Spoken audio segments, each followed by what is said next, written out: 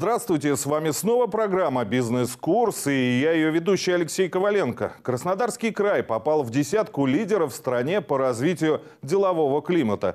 Такие данные во время мартовской встречи с губернатором привел бизнес-омбудсмен Борис Титов. Кубань – один из самых привлекательных регионов для предпринимателей. Во многом это за счет созданных условий для комфортного ведения бизнеса, отметил Титов. Мы видим, что развивается промышленность это уж не говоря о сельском хозяйстве, которое дало очень серьезный рост в прошлом году. А по отношению к средним темпам роста в России край почти в два раза превысил эти темпы роста ВВП. И мы считаем, что это в основном происходит благодаря тому, что сегодня бизнес чувствует себя в крае уверенно. Сегодня у нас работают бизнес-инкубаторы в крае, и мы э, сегодня максимально пытаемся их развивать, потому что молодые более чувствуют сегодня рынок, они понимают э, способы, механизмы, как сегодня можно ворваться в рынок, как можно закрепиться в этом рынке, конечно. Поэтому бизнес-инкубаторы – это вот та площадка, где они могут начать свои стартапы для того, чтобы на самом деле начать движение в большой бизнес. Кроме того, мы сегодня повышаем правовую грамотность малого и среднего бизнеса. Это очень важно, потому что сегодня малый и средний бизнес должен уметь защитить э, свои права, в том числе и перед контролирующими органами. И сегодня для нас очень важно, чтобы они могли понимать, какие законы их защищают, и такие законы вообще есть. По итогам прошлого года регион показал рост ВРП на 1%, при том, что в целом по стране, наоборот, отмечается снижение. Как подчеркнул Вениамин Кондратьев, важно, что достигнут этот показатель не за счет увеличения налогов, а за счет укрепления экономической базы и количества предприятий. Ну, для нас принципиально, чтобы предприниматель э, чувствовал себя комфортно в нашем крае. И задача власти – создать условия для его комфорта. И здесь не только речь идет о налоговых преференциях, речь идет и о просто о защите его прав. Это очень важно. И сегодня, э, если он будет чувствовать себя защищенным, предприниматель каждый конкретный, э, то, конечно, будет и результат. Вот мы ищем инвесторов, э, где-то из-за рубежа ищем, в целом по нашей стране ищем. А ведь э, обычный предприниматель тоже может стать инвестором. Только он должен первый поверить в том, что ему будет комфортно в собственном регионе, в собственном муниципалитете. Вот мы не должны потерять нашего внутреннего инвестора в лице э, обычного предпринимателя.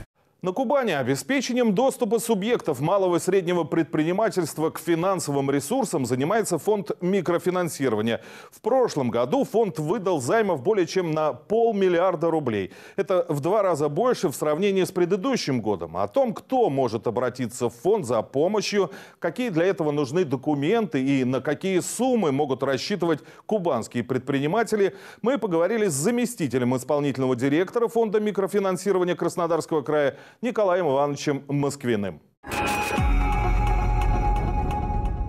Здравствуйте, Николай Иванович. Спасибо, что нашли время, чтобы ответить на наши вопросы. Добрый день.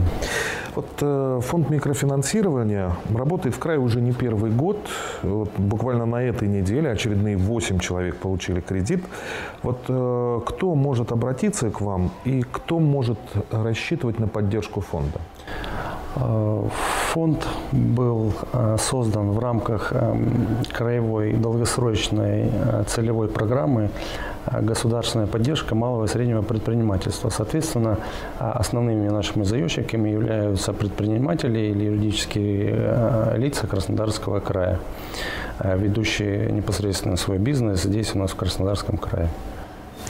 А вот какие виды займов существуют в вашем фонде? На сегодняшний день в фонде существует 7 видов займов, в которых мы постарались э, собрать все потребности и критерии, э, что касается именно нашего Краснодарского края. Название программы у нас «Старт». Э, я сейчас вкратце расскажу о каждой из них. «Старт», «Бизнес-инвест», «Бизнес-оборот», «Фермер», «Ремесленник», «Новотех» и «Развитие инноваций». Каждая программа подразумевает под собой и э, то, чем занимается непосредственно предприниматель, и то, сколько он работает э, в предпринимательстве и ведет свой бизнес. Э, самая доступная э, Программа у нас – это программа «Старт». Она рассчитана для молодых предпринимателей, проработавших не менее трех месяцев, это обязательно. А, И он, по этой программе он может рассчитывать а, на сумму от 100 тысяч до 700 тысяч рублей. А, Сразу скажу, в фонде процентная ставка у нас от 6,25% до 10%. А Я считаю, это очень хорошая и выгодная да, ставка, особенно кто сталкивался с банками. Следующая, следующие программы э, предприниматели могут рассчитывать суммой от 100 тысяч до 3 миллионов. А, Бизнес-оборот, как по названию слышно уже, это программа, предназначенная для пополнения оборотных средств или, скажем, для обеспечения госконтрактов или госзаказов. Есть у нас такой закон. А Бизнес-инвест – это целевое назначение его покупка основных средств, да, автомобиля для ведения своего бизнеса, оборудования, а, может быть строительство или реконструкцию помещения. А, Самая наша популярная программа – это «Фермер», да, Краснодарский край. М, Процентная ставка по нему 8,75% годовых. А, По этой программе наши заемщики могут рассчитывать на отсрочку основного платежа до 6 месяцев. Э, Ввиду того, что фермерская работа в основном связана с сезонной работой, это очень хороший плюс к к данной программе. С- Есть программа у нас такая «Ремесленник». И она основана на, можно сказать, законе о ремесловых профессиях, попадающие э, в список э, этого закона, да, который э, ограничивает, да, э, человек э, в- занимается одной из видов деятельности под этим акведом, он может пойти под эту программу. Какие-то ну, э, кузнец, м, там, швея, ювелир, скажем. Народные ремесла. Да, народные ремесла, все верно. А По данной программе у нас самая низкая ставка 6,25% годовых. Программа интересная, набирающая на сегодняшний день оборот, это у нас Новотех. А, В чем она интересная?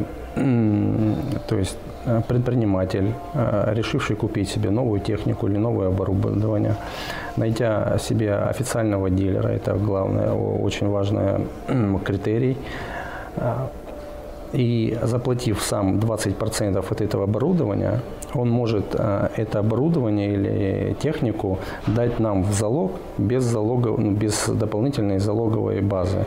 Эта программа, э, процентная ставка у нее 9% годовых, э, и сроком она рассчитана до трех лет.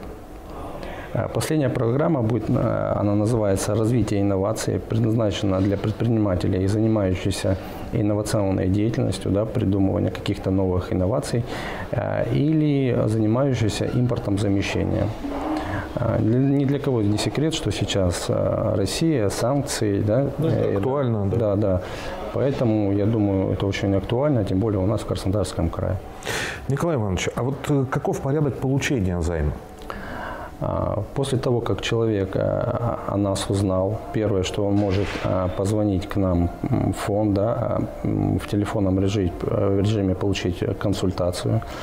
Второе, а, ему необходимо собрать пакет документов, которые есть у нас на сайте, он в общей доступности, э, обратиться в фонд, а, После подачи документов рассматривается его непосредственно заявка. И э, уже м, при- при- оценивается его экономическое состояние, оце- оценивается его залоговое обеспечение и выносится непосредственно решение, с которым его а, обязаны ознакомить. Хорошо, а кто тогда принимает решение о выдаче займа? Решение принимает непосредственно кредитная комиссия, э, ну, в члены которой входят непосредственно и один, один из э, членов – это директор непосредственно фонда. Какие необходимы все-таки документы для получения займа, да, и вот э, как долго э, рассматривается заявка? Список состоит э, порядка 12 наименований документов. А, у- я я так да, понимаю, да. что можно найти на сайте. Да, да, это у нас можно найти на сайте. Эти документы э, нужны для того, чтобы, опять же, а, оценить экономическое состояние заемщика, предпринимателя непосредственно. А Заявка будет рассматриваться в течение, максимальный срок рассмотрения заявки, я подчеркну, 15 рабочих дней. После 15 рабочих дней фонд обязан оповестить человека о решении комиссии уже. И вот если э, решение принято, то через сколько человек может получить э, деньги? Назначается день подписания в порядке живой очереди. А, Иногда бывают такие случаи, что человеку уже под- поджимают сроки да, в его. Мы, соответственно, пытаемся его поставить пораньше. Но срок а, подписания до решения комиссии там 20 рабочих дней. Но мы а, подписываем гораздо раньше, конечно же. То есть получается максимальный срок это в течение месяца. Да, получается. да, в течение месяца все верно. А вот э, на какую сумму максимально могут рассчитывать предприниматели? Предприниматели э, от 100 тысяч до 3 миллионов рублей. Куда можно обращаться предпринимателям для получения займа? Э, Мы находимся в Краснодаре, улица Трамвайная, дом 2, это бизнес-центр «Меркурий». Также у нас есть представительство в городе Армавире на сегодняшний день. А еще где-то планируется открыть представительство в ближайшее время в Краснодарском крае? А Мы изучаем наш край, да, и пытаемся, э, ну, для надобности, если действительно такой понадобится, да, мы открываем. Так у нас э, недавно было и в Сочи. В, непосредственно наше представительство, но оно как бы за недавностью закрыли. А, Николай Иванович, вот скажите, а вот фонд сам выдает займы, то есть э, распоряжается своими финансами, или вы все-таки работаете с банками-партнерами? Нет, все наши средства – это субсидии непосредственно выданные из краевого и из федерального бюджетов. О, м, У нас нет, это ну, не банковские деньги, это деньги непосредственно в- выделенные из бюджета. Помимо выдачи э, финансовой помощи, занимается ли консультативной помощью фонд предпринимателям? Да, конечно. Мы занимаемся консультативной помощью как и в телефонном режиме, так и если человеку удобно, он может прийти и получить консультацию. Более того, помимо консультации мы еще занимаемся информативной деятельностью. Что это значит? А, Мы выезжаем а, в муниципалитеты наши, да, там проводятся собрания по предпринимательству, мы выступаем на анфер- информируем людей о том, что какие у нас программы есть, какие у нас условия есть, или есть какие-то изменения, кто с нами уже работал. Также мы стараемся посещать а, все мероприятия, так или иначе связанные с а, объектами МСП, малым и средним предпринимательством. Выставки, совещания и так далее. Сейчас уже можно говорить о работе фонда за 2016 год? Я имею в виду, уже есть какие-то данные? Да, конечно. За 2016 год мы выдали 507 миллионов и выдали 413 займов.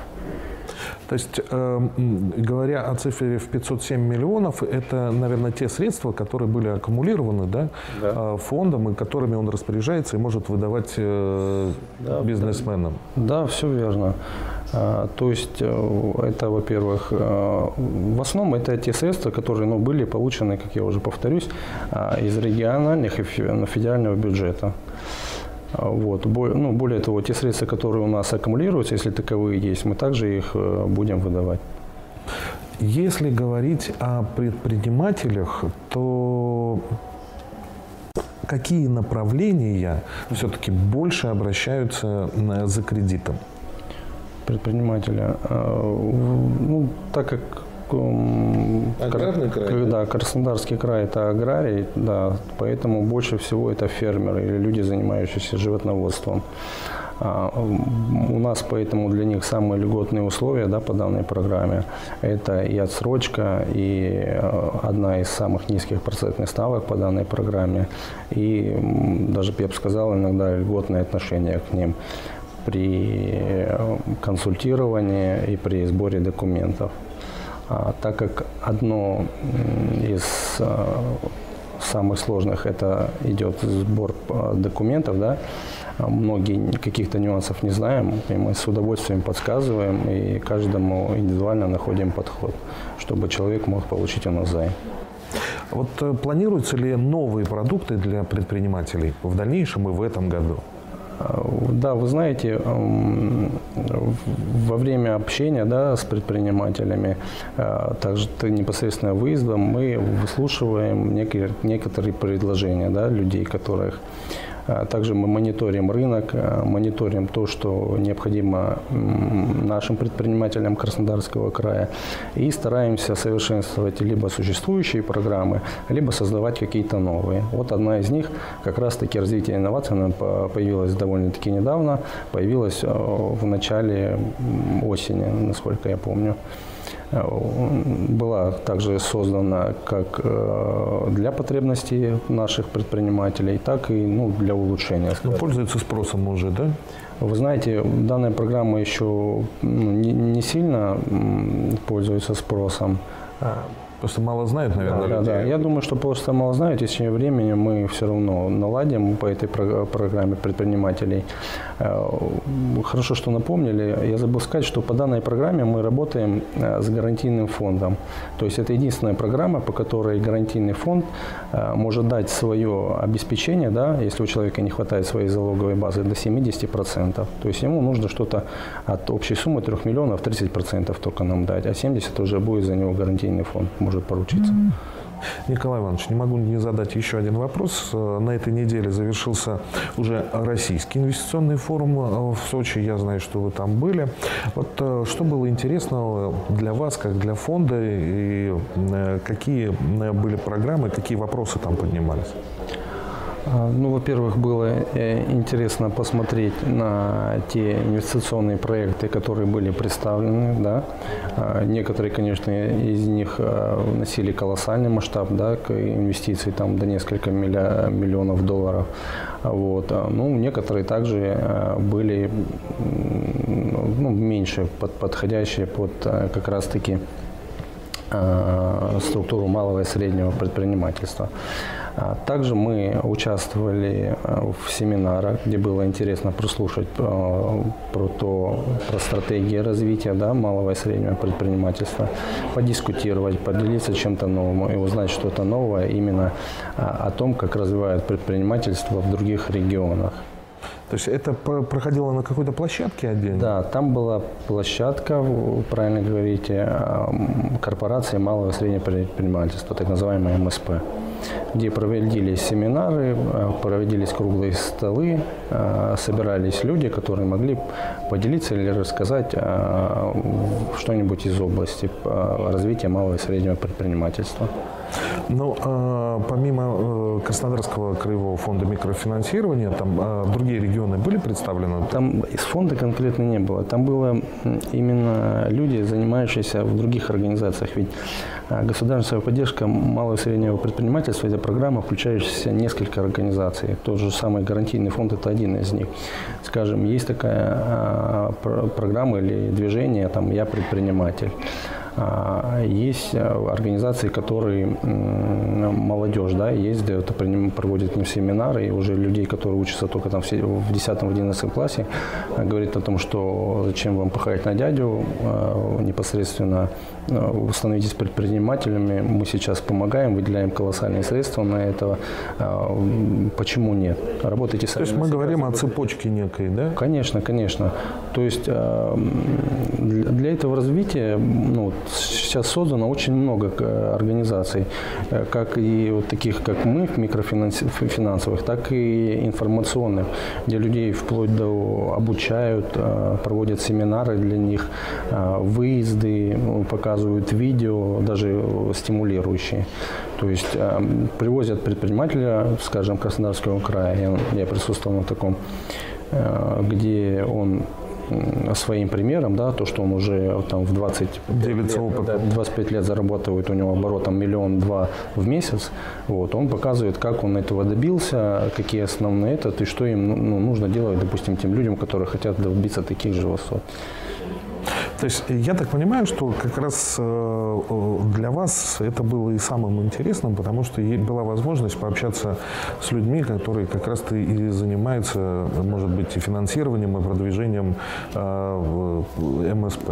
Да, нам было интересно и пообщаться с ними, и перенять у них, может быть, опыт, который они уже пережили на сегодняшний день, чтобы использовать у нас здесь его в Краснодарском крае для улучшения, опять-таки, э, наших предпринимателей здесь.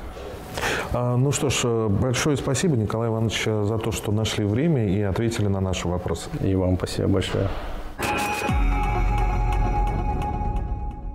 На этом все. С вами была программа «Бизнес-курс» и я ее ведущий Алексей Коваленко. Мы предоставляем деловую информацию из первых рук.